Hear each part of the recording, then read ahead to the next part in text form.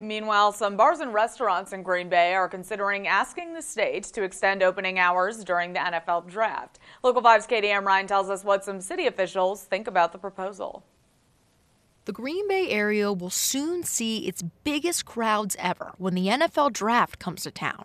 And bar and restaurant owners with the Brown County Tavern League want to make the most of it while also promoting safety. We have hundreds of thousands of people that are planning to come to Green Bay, and we want to make sure that we can serve that many people. And in, in order to do so, we have to be able to relax some of our ordinances so that people can, can go outdoors, uh, that they can you know, freely walk between certain types of facilities. Brian Johnson with the Green Bay City Council, along with the Tavern League, proposed to the city's Protection and Policy Committee to extend the hours which bars and restaurants are open to from 2 a.m. to 4 a.m. during the NFL draft. When you close your bars at 2 a.m. and you push all of those, they're not allowed to stay inside the facility, right? So you push all of those people out onto the streets at the same time without any access to transportation that's a recipe for disaster. And so by expanding the hours, you're actually creating a larger window for that for that transportation infrastructure to react and respond. In addition to extending hours, the Tavern League would like to expand their Safe Ride program into a shuttle service to help bring more transportation options to the community. In a statement from the league's president, she says the primary objective of the Brown County Tavern League